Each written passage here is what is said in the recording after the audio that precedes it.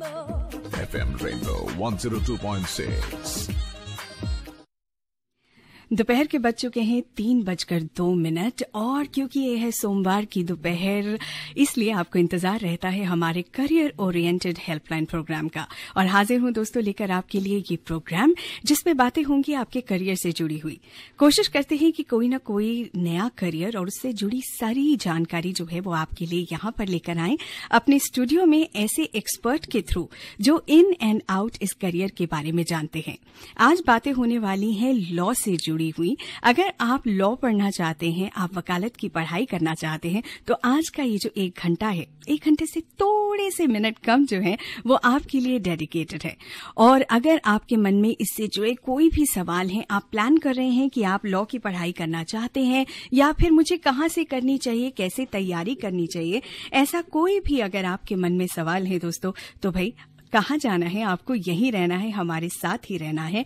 और हमारे साथ आज जुड़े हैं हमारे expert Sanjay Kumar Chadha ji. Welcome to the studio sir thank you very much और दोस्तों आज ये बताने वाले हैं हमें कि अगर आप लॉ की पढ़ाई करना चाहते हैं तो कैसे आपको उसकी तैयारी करनी है? और अगर आप सोच रहे हैं कंफ्यूज्ड हैं ये नहीं वो तो भाई आपको ये डिसीज़न लेने की जो सारी क्लैरिटी है वो यहाँ पर हमारे गेस्ट देने वाले हैं। सर एक बार फिर से स्वागत है आपका हमारे स्टूडियो में। बहुत बहुत शुक्रिया और मैं बहुत एक्साइटेड हूँ आपके सवाल लोगों के जवाब देने के लिए और खास तौर से ऐसे जो लोग जो लॉ को एज ए प्रोफेशन अडॉप्ट करना चाहते हैं उनकी क्वेरीज का जवाब देने के लिए। सो so, दोस्तों अब आपको क्या करना है आपको बता देते हैं। आपको हमें कॉल करना है। हमारा नंबर है एक आठ शून्य शून्य एक एक एक शून्य दो छ ये है वो टोल फ्री नंबर जहाँ पर आप भारत में कहीं से भी कॉल कर सकते हैं और डायरेक्टली हमारे एक्सपर्ट से अपना सवाल पूछ सकते हैं।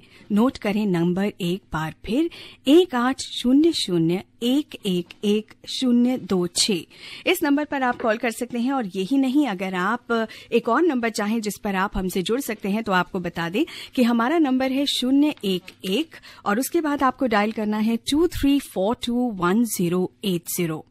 Two three four two one zero eight zero या फिर two three four two one zero nine zero. देखिए ना, कितने ऑप्शंस आपको दे दिए यहाँ पर। तीन नंबर्स हैं जिन पर आप हमसे कनेक्ट हो सकते हैं और हमारे एक्सपर्ट से लाइव बात कर सकते हैं। लेकिन अगर किसी वजह से कोई और दोस्त बात करें और आपकी फ़ोन लाइन जो है वो मटेरियलाइज फ़ोन कॉल मटेरियलाइज नहीं हो रही है नॉट टू वरी आप अपना सवाल बेझिझक हमें भेजें टाइप करें R A I N rain space दीजिए, अपना सवाल लिख दिए अपना नाम ज़रूर मेंशन कीजिए और फिर आपने उसे भेज देना है five three zero one zero पर। Right now आपके लिए ये track and then lots and lots of questions and answers right here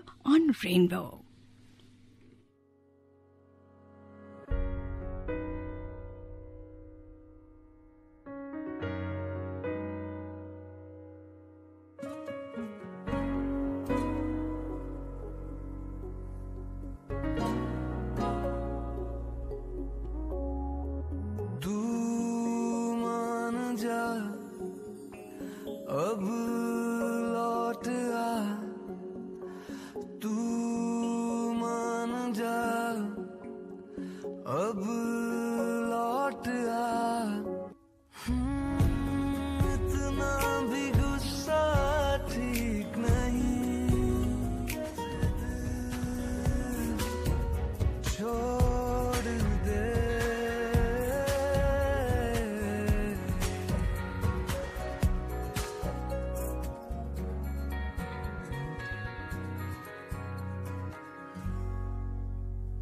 Rainbow. Right ji that was a lovely lovely beginning to our program जिसका नाम है helpline और movie में शायद किसी का गुस्सा जायज़ था, इसीलिए ये गीत जो है वो बना। लेकिन यहाँ आपका गुस्सा बिल्कुल जो है वो मैं होने नहीं दूँगी आपको because I am going to take all your calls और दोस्तों, एक आपसे दरख्वास्त है कि जब आप हमें कॉल करें तो पीछे जो रेडियो की वॉल्यूम है ना, उसको बिल्कुल बंद कर दें।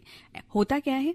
आप जब हमें कॉल करते हैं, हमें रेडियो सुनाई देता है, आप नहीं सुनाई देते हैं राइट तो ये नंबर एक बार फिर नोट करें एक आठ शून्य शून्य एक एक एक शून्य दो छ और अगर आप इस नंबर पर कनेक्ट ना हो पाए तो हमारे दूसरे नंबर्स नोट करें। Zero one one two three four two one zero eight zero और two three four two one zero nine zero. आज बातचीत होने वाली है कि अगर आप लॉ को अपना करियर बनाना चाहते हैं, आप एक लॉयर बनना चाहते हैं तो किस तरीके से आपको इस प्लान को अप्रोच करना है? और ये सारी जानकारी जो इससे जुड़ी हुई है, वो आपको देंगे हमारे आज के एक्सपर्ट संजय कुमार चड्ढा जी, जो कि एक प्रैक्टिसिंग लॉयर हैं सुप्रीम कोर्ट में। And he is very much live with us in the studio. और यहाँ पर पहले कॉलर भी संजय जी, पहले इनसे बात करते हैं। He is been very patient और फिर आपसे और बातचीत करते हैं। बिल्कुल। हेलो हेलो नमस्कार सागर बोल रहे हैं राइट जी मैम हाँ वेलकम टू द प्रोग्राम अपना सवाल पूछें सागर जी मैम मेरा क्वेश्चन ये था कि आफ्टर ग्रेजुएशन हम लॉ में क्या, कैसे अपना करियर बना सकते हैं? And second question is are there any short term courses in the law sir देखिए लॉ अगर आपने ग्रेजुएशन कर लिया है जैसा आपने बताया लॉ के लिए आपको तीन साल का एक कोर्स ज्वाइन करना पड़ेगा जो एफिलिएटेड हैं कोर्सेज तमाम यूनिवर्सिटीज में दिल्ली यूनिवर्सिटी में भी है और जहाँ से आप कॉल कर रहे हैं वहाँ वाली यूनिवर्सिटीज में भी होगा। हर यूनिवर्सिटी में लॉ का कोर्स है। एक तो ये बात हो गई। उसके एडमिशन के पैरामीटर फ़र्क होते हैं। जैसे दिल्ली यूनिवर्सिटी में अगर एडमिशन लेना है तो उसके लिए एक एंट्रेंस टेस्ट होता है। कहीं और की यूनिवर्सिटीज के अपने अपने पैरामीटर्स होते हैं उनके आधार पे वो करते हैं। दूसरा सवाल है कि शॉर्ट टर्म कोर्सेज कोई भी नहीं होते हैं। एक तो रेगुलर कोर्सेज यूनिवर्सिटी में ही करना होगा। आपका जो कोर्स है क्योंकि आप ग्रेजुएट हैं वो तीन साल का कोर्स है। तो कोर्स का नाम कुछ अगर L L B course L L B जी।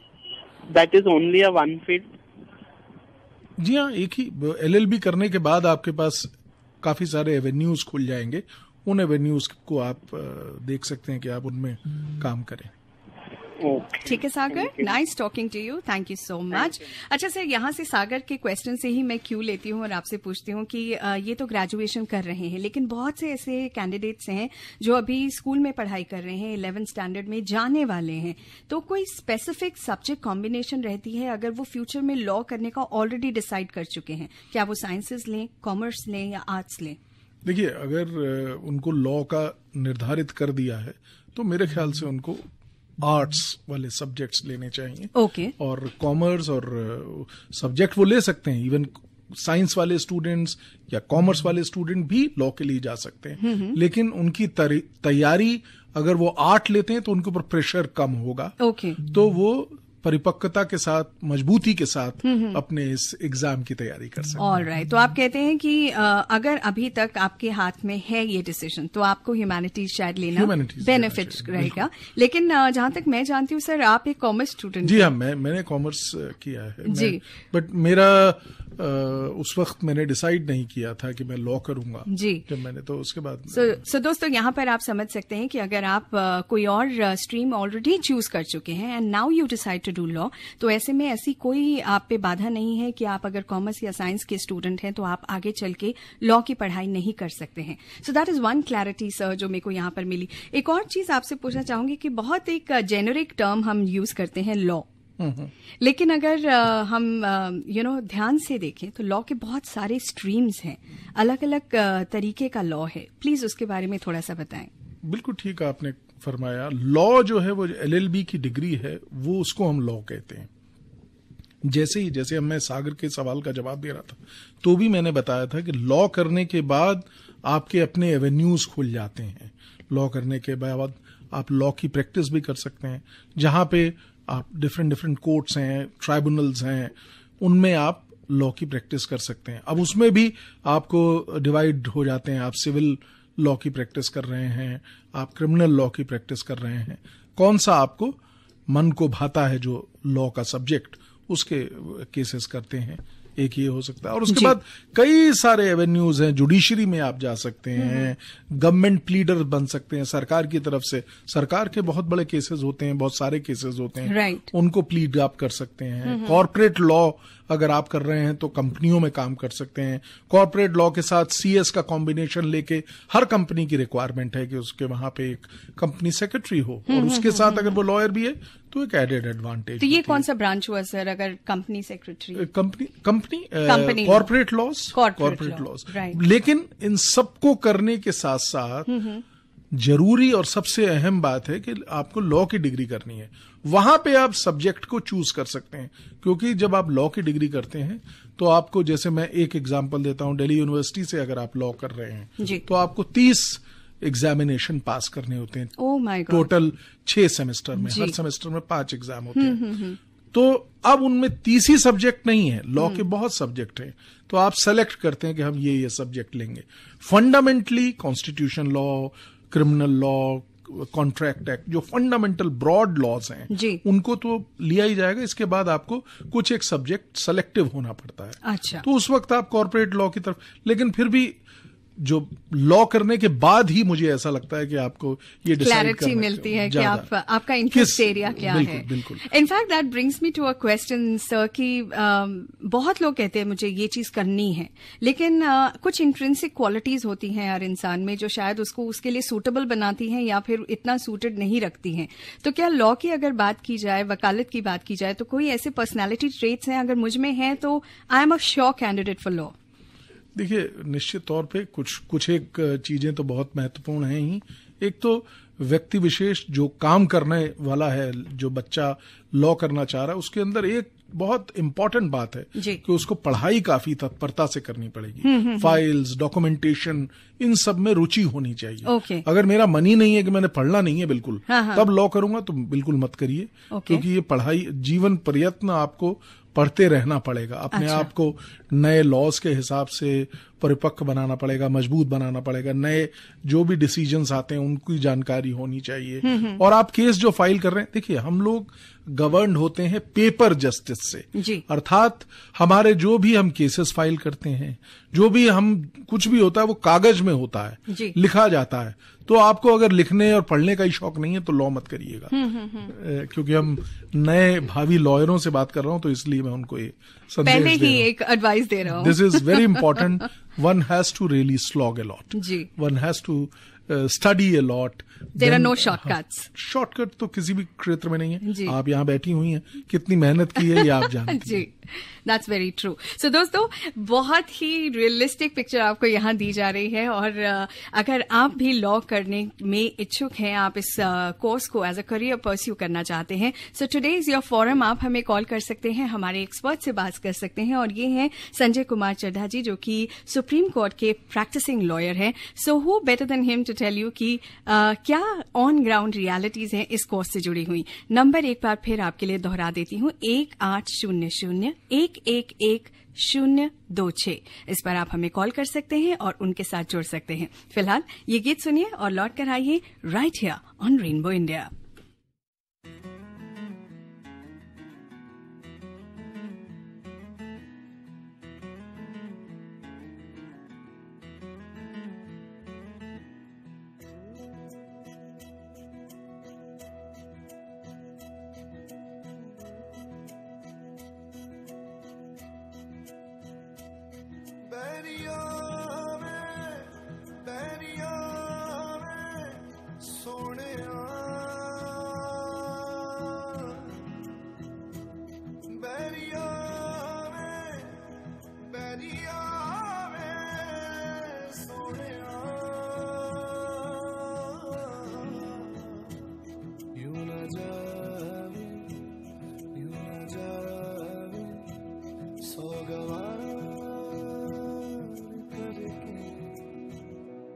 तेरी जोगन हो गई प्यार विच रोगन हो गई। मैं तेरी जोगन हो गई हाँ, प्यार विच रोगन हो गई। मैं तेरी जोगन हो गई हाँ, प्यार विच रोगन हाँ।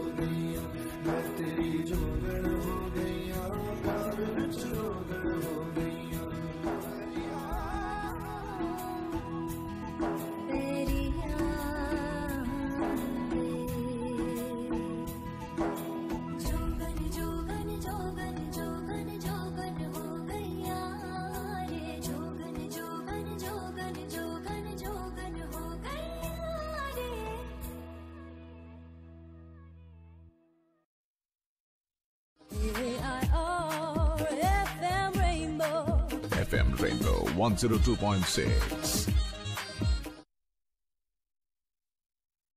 वेलकम बैक दोस्तों, आप सुन रहे हैं हेल्पलाइन और आज बात हो रही है वकालत से जुड़े करियर की। यानी अगर आप एक लॉयर बनना चाहते हैं so what is your stream of study that you need to follow यही सारी जानकारी आपको यहाँ दी जा रही है और एक सर कॉलर जो है हमारे साथ जुड़े हुए हैं all the way from Haryana Charan ji हैं। इनसे बात करने की कोशिश करते हैं। हेलो हाँ मैं चरण बोल रहा हूँ उत्तर प्रदेश जिला बीनौर से। और राइट आप यूपी से कॉल करें। स्वागत है आपका अपना सवाल पूछे।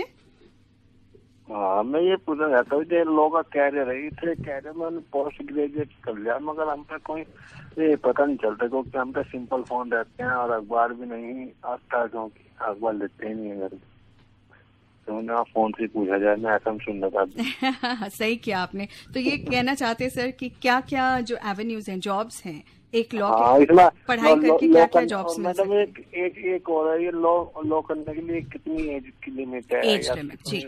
सबसे बड़ा अच्छी एक सवाल इन्होंने पूछा कि कोई एज लिमिट है? नहीं कोई एज लिमिट नहीं है लॉ के लिए।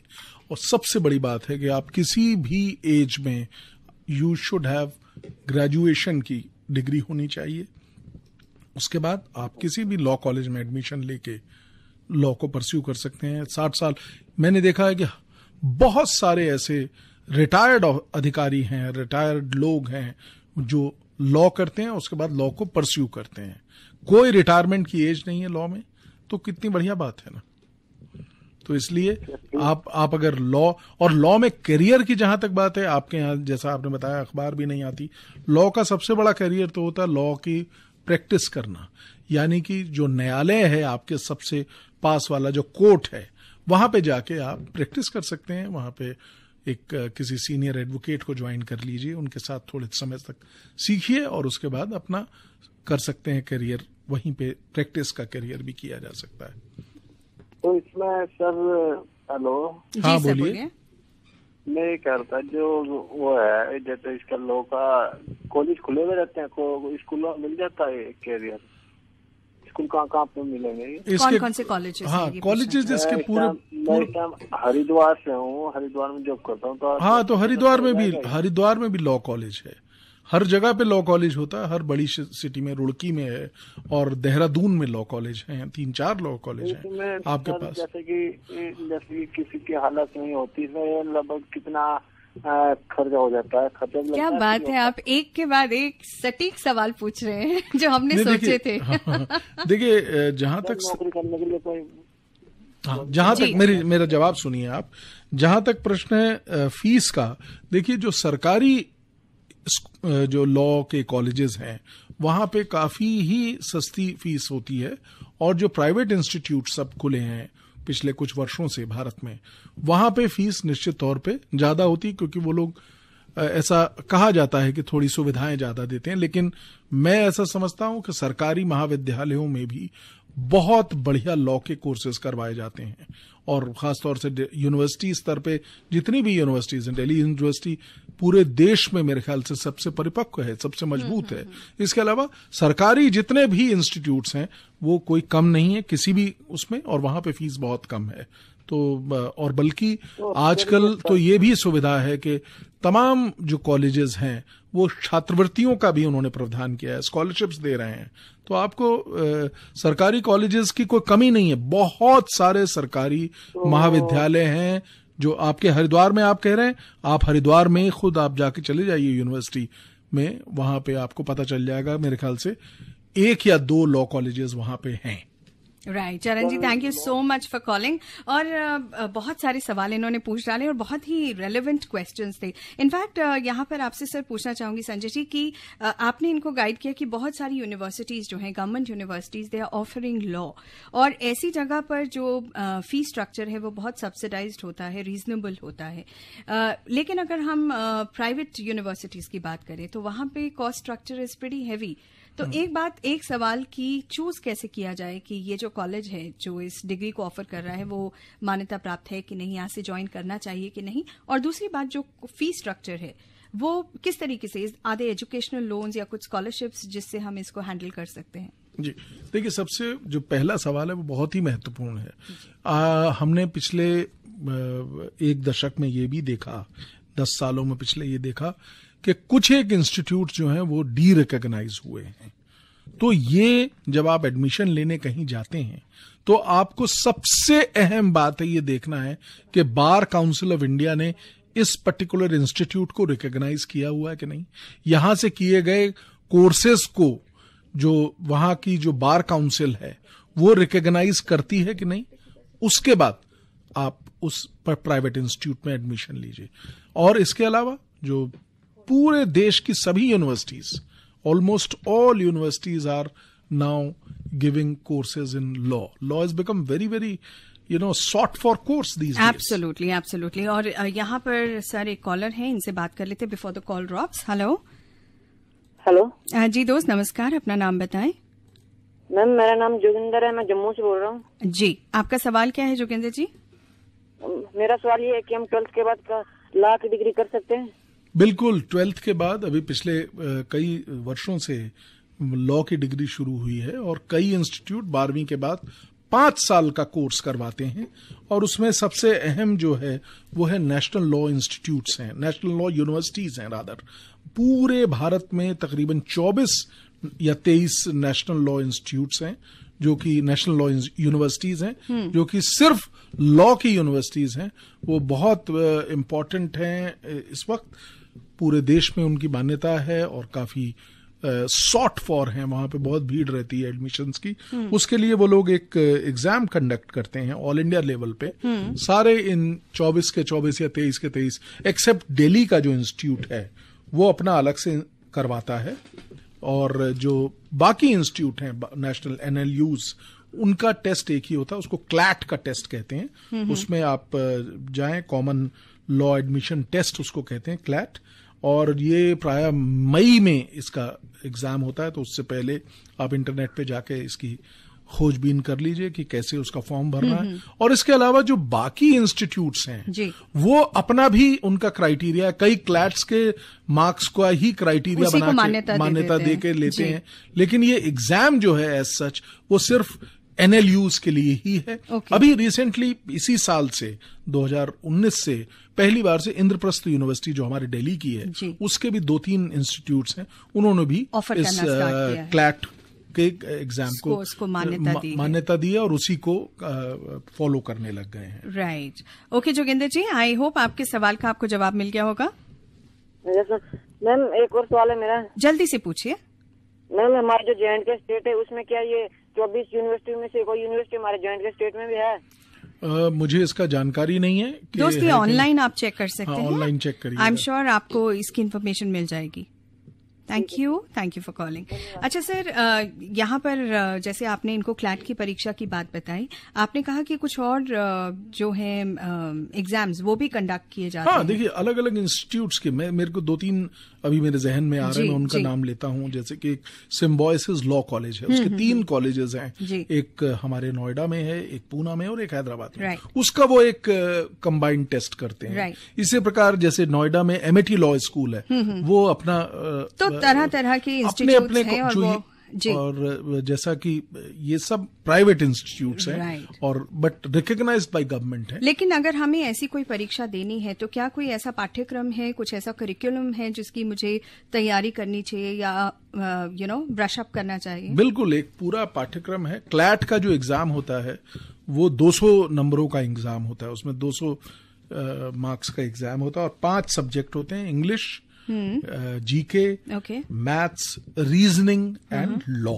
ये पाँच सब्जेक्ट्स हैं। इसके सवाल उनसे पूछे जाते हैं और यहाँ पे बड़ा केयरफुल होना होता है जो भी छात्र इसको दे रहा है जी। उसको ये देखना होता है कि नेगेटिव मार्किंग भी होती है। और एक बहुत अच्छा जितना अच्छा आपका स्कोर होगा उतने ही अच्छे एनएलयू में या अच्छे इंस्टीट्यूट में आपकी आपकी अनुसार उसको एडमिशन आपको मिलेगा। आपके स्कोर्स के बेसिस में होता है राइट right. अच्छा सर एक और सवाल यहाँ पर हमारे श्रोता का आया है और वो आपसे पूछना चाहते हैं कि जब मैं रूफान है ये बायोलॉजी के स्टूडेंट हैं और फ़र्स्ट ईयर कॉलेज में हैं कहते हैं सर क्या इसके बाद मैं एलिजिबल हूँ टू डू लॉ जैसा हमने कार्यक्रम के शुरुआत में भी बताया था कि एलिजिबिलिटी सिर्फ़ ग्रेजुएशन है चाहे वो. बीएससी है बीए है या किसी भी तर, किसी भी फ़ील्ड पे अगर आप एक रिकग्नाइज्ड यूनिवर्सिटी से जी। ग्रेजुएट हैं तो आप तीन वर्ष का जो कोर्स है तीन साल का जो कोर्स होता है उसको कर सकते हैं और देश के किसी भी इंस्टीट्यूट से कर सकते हैं। आप दिल्ली यूनिवर्सिटी अगर आप दिल्ली में हैं तो दिल्ली विश्वविद्यालय से कर सकते हैं। आप कोचीन में हैं तो कोचीन महाविद्यालय से कर सकते हैं। तो हर यूनिवर्सिटी आपको इस कोर्स को प्रोवाइड करती है। जी। ये तीन साल का है आफ्टर ग्रेजुएशन। और जैसा अभी वो जम्मू से जोगेंद्र बोल रहे थे उनको हमने बताया कि पाँच साल का एक कोर्स होता है वो आफ्टर ट्वेल्थ है। आप कर सकते हैं। एक और कॉलर यहाँ पर जुड़े हैं इनसे बात करते हैं। हेलो। दोस्त अपने रेडियो की वॉल्यूम बिल्कुल आप बंद कर दीजिए और अपना सवाल बताइए। हेलो? आई थिंक रेडियो की जगह उन्होंने अपना फ़ोन जो है वो बंद करना उन्होंने इजी समझा। अ, कोशिश करते हैं एक और कॉलर से हम जुड़ पाए। हेलो? हेलो नमस्कार मैडम। नमस्कार अपना नाम बताइए। हाँ जी मैडम मैं अर्चना बोल रही हूँ हरियाणा से। बोलिए अर्चना क्या सवाल है आपका? हाँ जी मैम मैं ये जानना चाहती हूँ कि प्लस टू के बाद जो फाइव इयर्स का कोर्स है हम्म। तो मैडम उनके लिए एज कितनी है? मतलब एज लिमिट क्या है अगर ट्वेल्थ के बाद ड्रॉप हो जाती है पढ़ाई? अगर कोई गैप आ जाए। अगर कोई गैप आता है तो आपको उसका एक्सप्लेनेशन देना होता है और एग्जैक्ट एज लिमिट आपको ज़रूर प्रोस्पेक्टस में देखनी पड़ेगी। मुझे उसका ज्ञान नहीं है। तो सर ग्रेजुएशन के बाद? ग्रेजुएशन के बाद कोई एज लिमिट नहीं है। उसमें जो एज लिमिट है वो है 21 साल मिनिमम एज लिमिट है। ऊपर की एज लिमिट नहीं है। राइट तो एक और सवाल जो इक्कीस साल लॉयर बनने के बाद प्रैक्टिस करने की एज है। सॉरी और ग्रेजुएशन है आपकी तो कोई उम्मीद कोई नहीं है किसी भी एज में। आप साठ साल के हैं तो भी कर सकते हैं पच्चीस साल के हैं तो भी कर सकते हैं पचहत्तर साल के हैं तब भी कर सकते हैं। जब आप चाहें। हाँ आप बस ग्रेजुएशन की डिग्री होनी चाहिए आपके पास। ठीक है? ग्रेजुएशन सर जी जी बिल्कुल after graduation okay sir thank you तीन, Thank तीन साल का है वो जो कोर्स है। थैंक यू दोस्त. थैंक यू फॉर कॉलिंग और सर एक सवाल संजय जी यहाँ पे लेते हैं then we going for a break और ये जो सवाल है हमारे एक दोस्त नितिन का आया है आपसे पूछते हैं कि sir after doing a degree in law मेरे पास किस किस तरह की जॉब अपॉर्चुनिटीज़ हैं अगर मैं खुद अपनी प्रैक्टिस नहीं करना चाहता हूँ? देखिए सबसे बड़ा तो अपना प्रैक्टिस करने का अगर वो नहीं करना चाहते हैं तो आ, मेरे ख्याल से जुडिशरी एक बहुत अच्छा ऑप्शन है। अगर आप जुडिशरी भी नहीं करना चाहते हैं तो आपके पास ऑप्शन है आप कॉरपोरेट लॉ फर्म्स हैं उनमें काम कर सकते हैं। आपके पास एक और तमाम जितने भी कंपनियाँ हैं, उनको लॉयर्स रखने होते हैं। उनके यहाँ लीगल डिपार्टमेंट जितनी बड़ी कंपनी होगी, उतने ज़्यादा वहाँ पे लीगल डिपार्टमेंट में लॉयर्स होंगे। बड़े बड़े बैंकों में इंश्योरेंस कंपनीज़ में, हर जगह पे लॉयर्स की आवश्यकता होती है। तो वहाँ पे आप as a lawyer law officer join कर सकते हैं।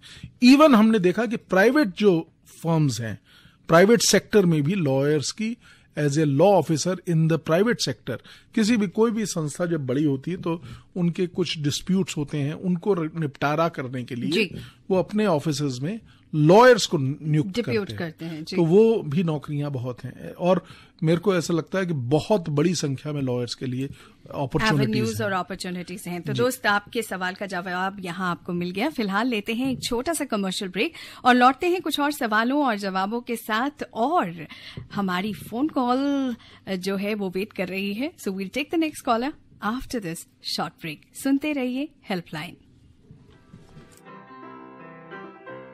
He has a dog, he won't be lonesome. And the doggy will have a good home. We love your pets. FM Rainbow. FM Rainbow 102.6. Right ji welcome back आप सुन रहे हैं helpline और आज बात कर रहे हैं हम संजय कुमार चड्ढा जी से who is right here live in our studios और बात हो रही है about law as a career और यहाँ पर सर दो कॉलर्स बेताबी से इंतज़ार कर रहे हैं इफ़ आई माइट से सो इनसे बात करते हैं। हेलो हेलो मैम जी नमस्कार। अपना नाम बताएँ। मैम मेरा नाम स्वाति है। जी। मैं हरिद्वार से हूँ उत्तराखंड। ओके। मैम सवाल? ट्वेल्थ में हूँ और मैं जज बनना चाहती हूँ। मैम ट्वेल्थ के बाद यदि मैं पाँच साल का कोर्स करना चाहूँ तो उसकी फ़ीस कितनी होगी? सर जज बनना चाहते फ्यूचर जज से बात हो रही है। हाँ, बहुत अच्छा। और एक और मैं इनकी बात का जवाब देने से पहले ये कहना चाहूँगा कि अभी एक नया दौर देखा है हमने कि अब बहुत सारी जो महिलाएँ हैं वो जी, भी जी। लीगल फ़ील्ड में आ रही हैं। एब्सोल्युटली और, ये बहुत इनकरेजिंग है। और ये बहुत इनकरेजिंग है। जजेस बहुत बन रही है महिलाएँ और जो कि बहुत स्वागत योग्य है। चलिए। और जहाँ तक इनका प्रश्न है देखिए आपके अलग अलग डिफरेंट डिफरेंट कॉलेजेस हैं हर कॉलेज की फ़ीस वही निर्धारित करते हैं और निश्चित तौर पे उसका निर्धारण करने का कोई क्राइटेरिया होगा उसके आधार पे तो वो मैं आपको यहाँ पे बता नहीं सकता आपको खुद वो चेक करना पड़ेगा गूगल पे आप चेक कर सकते हैं। ठीक है दोस्त? उत्तराखंड में कौन सी बेस्ट यूनिवर्सिटी है? बेस्ट कौन सी है? भाई ये बता दीजिए। उत्तराखंड में कई सारे हैं वहाँ पे देहरादून में खास तौर से पाँच छह इंस्टीट्यूट्स हैं और इसके अलावा कुमायूं यूनिवर्सिटी है, गढ़वाल यूनिवर्सिटी है, इन तमाम यूनिवर्सिटीज में भी लॉ के कोर्सेज हैं, अंडर ग्रेजुएट के साथ हैं और अंडर ग्रेजुएशन करने के बाद वाले भी हैं। तो वो आपको यूनिवर्सिटी से ही पता करना पड़ेगा, बट देहरादून में काफ़ी सारे इंस्टीट्यूट हैं, इसका मुझे पूरा संज्ञान है, मुझे मालूम है। ठीक है, थोड़ा सा आप एफर्ट कीजिए। जी, बोलिए। सर पाँच साल का कोर्स करने के बाद फिर क्या कर सकते हैं? पाँच साल के कोर्स के बाद जैसा अभी आपने बताया आप जुडिशरी में जाना चाहती हैं। कोर्स करने के बाद आप एलिजिबल हो जाती हैं जुडिशरी का एग्ज़ाम लिखने के लिए। और उसके लिए आपको उस एग्ज़ाम के हिसाब से अपनी तैयारी करनी है। उस परीक्षा को पास करना है और उसके बाद आप देश की सेवा कर सकती हैं। ठीक है जी। बेस्ट ऑफ़ लक आपकी ड्रीम्स जो हैं वो बिल्कुल साकार हो okay thank you thank you और सर एक और कॉलर है इनसे भी बात करते हैं।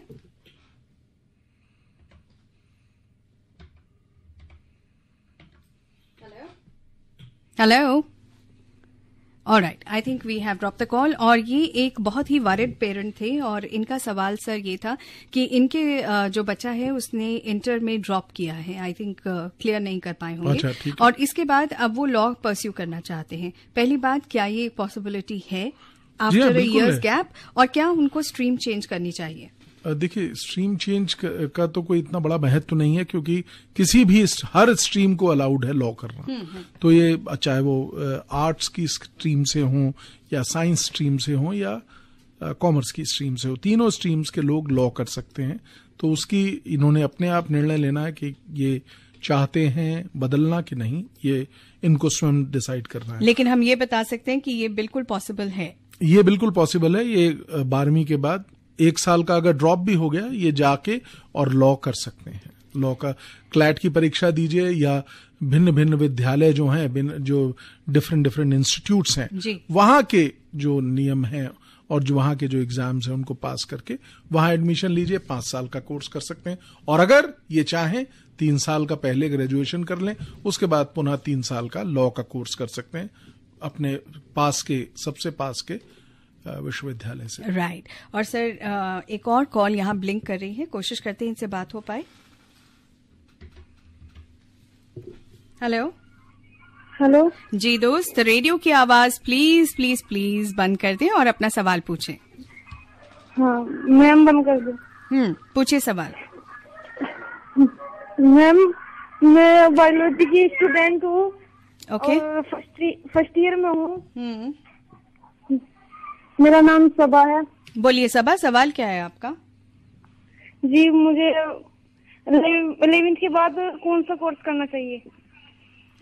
अगर आप लॉ करना चाहती हैं फिर तो हम आपको जवाब दे सकते हैं नहीं तो आपको वेट करना होगा अगले सोमवार का। नहीं मैम हाँ मुझे असिस्टेंट इंटरेस्ट है वो करने के लिए ओके तो फिर आप सर गाइड कीजिए प्लीज़ अगर ये ग्रेजुएशन के फ़र्स्ट ईयर में है तब इनको अभी दो साल रुकना पड़ेगा। अपना ग्रेजुएशन कंप्लीट करने के बाद इनको लॉ में एडमिशन लेना पड़ेगा और उसके बाद तीन साल का विश्वविद्यालय से कोर्स करने के बाद ये एक लॉयर बन सकती हैं और लॉ बनने के लॉयर बनने के बाद इनके पास कई सारे कैरियर रेवेन्यूज आ जाते हैं। ठीक है? Thank you thank you for calling अच्छा सर यहाँ पर आपसे पूछना चाहेंगे कि अम, अ, एक कहीं पे फैक्टर या एक मिथ हमारे साथ जुड़ा हुआ है कि law is a very dangerous career जब आप यू नो बात करते हैं कि आपको कभी कभी ऐसी जजमेंट्स देनी पड़ती हैं कि शायद वो दूसरी पार्टी को प्लीज़ ना करें तो एक फैक्टर रहता है कि क्या ये करियर गर्ल्स के लिए सूटेबल है? ये सवाल बहुत बार हमसे पूछा जाता है। दो सवाल आपके हैं। जी। पहला सवाल कि क्या ये बहुत डेंजरस बिल्कुल नहीं। बल्कि मैं ये कहूँगा कि ये एक बहुत ही जिसे कहना चाहिए मेरे पास शब्द नहीं मिल रहा है मुझे कि कितना लोगों की आप मदद कर सकते हैं अगर आप लॉयर हैं। जी। तो मेरे को ऐसा लगता है कि ये सोशल एवल्स को मिटाने के लिए आपको एक वरदान के तौर पे ये कोर्स है। और आप आप चाहें तो बहुत बहुत बहुत अच्छी चीज़ें कर सकते हैं दुखियों की मदद कर सकते हैं जो लोग परेशान हैं उनके केसेस का निपटारा करके उनमें मदद करके उनको कर सकते हैं पहला सवाल। और दूसरा जो आपने पूछा कि क्या महिलाओं के लिए ये जैसा अभी मैं दो मिनट पहले भी आपसे बता रहा था कि अब बड़ी से बड़ी संख्या में महिलाएँ और यंग लड़कियाँ इस प्रोफेशन को ज्वाइन कर रही हैं जो। कि एक बहुत वेलकम स्टेप है। पहले हम कोर्ट में होते कोर्ट जाते थे तो बहुत ही कम महिलाएँ इस प्रोफेशन में आती थी लेकिन अब धीमे धीमे कई महिलाएँ इस प्रोफेशन से जुड़ रही हैं। आपको जान के बहुत खुशी होगी कि हमारे सुप्रीम कोर्ट में भी अभी महिला जजेस भी अपॉइंट हो गई हैं। पहले से हैं पहले भी रही हैं ऐसा नहीं है। लेकिन अभी भी पिछले साल भी अ, हमारे सुप्रीम कोर्ट के जज बनी हैं। और हाई कोर्ट पे और तमाम क्षेत्रों में महिलाओं ने बहुत तेज़ी से आई हैं और जुड़ी हैं। राइट सो भाई ये एक मिथ तो यहाँ पर बस्ट हो गया और डेफिनेटली बिल्कुल घबराने की ज़रूरत नहीं है। इरिस्पेक्टिव ऑफ़ जेंडर ये एक बहुत ही अच्छा करियर ऑप्शन है and you are most welcome to do the right kind of course and join it फ़िलहाल यहाँ पर आपके लिए एक अ, प्यारा सा गीत लेकर आई हूँ। आप इसको एंजॉय कीजिए। फिर लौटते हैं कुछ और सवालों के साथ। आप सुन रहे हैं प्रोग्राम हेल्पलाइन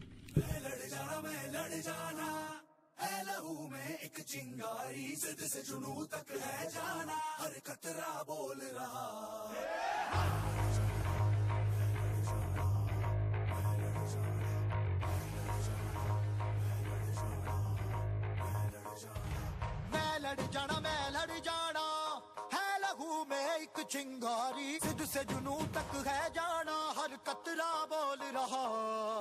मैं लड़ जाना, मैं लड़ जाना, मैं लड़ जाना।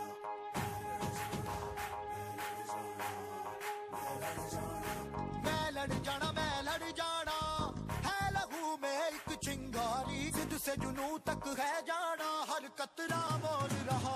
छल्ला सिर बन के कफन जब तुरया तन के अपना प्यार अपनों को बांटने के लिए। अपनी खुशियाँ जग में फैलाने के लिए। तुझे देखा तो ये जाना सनम। वेलकम बैक दोस्तों आप सुन रहे हैं हेल्पलाइन और यहाँ पर एक कॉलर सर जुड़े हैं। इनसे बात कर लेते हैं इनके सवाल का जवाब देते हैं। Hello hello ma'am good evening जी दोस्त गुड इवनिंग जल्दी से अपना सवाल जो है वो पूछ लें। मैम मेरा मैं रमाशंकर पाल बोल रहा हूँ मैं हाई स्कूल से सीबीएसई बोर्ड से मैं मेरा हाई स्कूल है। हम्म। और मैं प्लस टू मैं प्लस टू के बाद मैं लॉ की तैयारी करना चाहता हूँ। जी, लॉ की पढ़ाई करना चाहता हूँ पाँच साल का। हम्म। तो मैं इसमें सबसे पहले से ये बोलना चाहता हूँ कि इसकी फ़ीस कितनी हो है? और इसके लिए सबसे बढ़िया यूनिवर्सिटी कहाँ है कहाँ है? देखिए जहाँ तक बात है आप बिल्कुल सही समय पे फ़ोन कर रहे हैं। अभी आपके पास दो साल है एक इसका एंट्रेंस टेस्ट होता है। एनएलयू नेशनल लॉ यूनिवर्सिटीज हैं 24 भारत में। उन तमाम का एक ही कंबाइंड टेस्ट होता है, जिसको हम कहते हैं कॉमन लॉ एडमिशन टेस्ट उसको आप भरिए एग्ज़ाम वो एग्ज़ाम दीजिए, उसमें पाँच सब्जेक्ट होते हैं 200 मार्क्स का ये परीक्षा होती है, उसको अच्छी तरह से पास करिए। और फिर पाँच साल का आप ये सबसे अच्छे इंस्टीट्यूट हैं ये सब के सब जितने भी हैं। फ़ीस कितनी लगेगी सर? देखिए फ़ीस हर महाविद्यालय में वेरी करती है। वो आपको उनका प्रोस्पेक्टस देखना पड़ेगा या उनकी वेबसाइट पे चले जाइए और वहाँ पे उस चीज़ को दे, देख लीजिए। और सर इससे लेकर सबसे बढ़िया का यूनिवर्सिटी यूपी में कोई अच्छी हो बताइए। क्या चीज़? सर यूपी में इसके लिए कोई बढ़िया यूनिवर्सिटी हो लॉ करने के लिए यूपी में उत्तर प्रदेश में जितने भी विश्वविद्यालय हैं प्राय उन सब विश्वविद्यालयों में लॉ की है। लखनऊ विश्वविद्यालय में पाँच वर्षीय कोर्स है।